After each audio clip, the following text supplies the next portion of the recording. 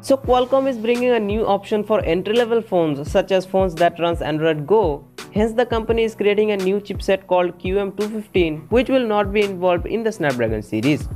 However, GSMArena did mention that the QM215 will be slightly similar to the Snapdragon 410 and 425 chipset as it will come with the quad-core CPU that is expected to be Cortex A53 based. In addition, the CPU is expected to be clocked at 1.3 GHz and the GPU at 650 MHz.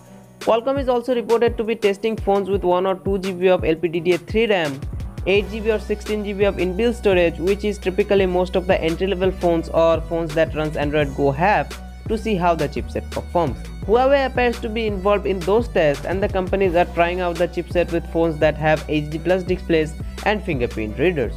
So we don't know which phone will be the first to equip this chipset but it is quite possible that we will see this chipset within this year itself.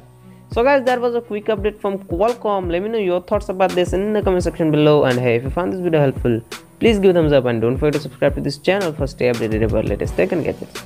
Thanks for watching.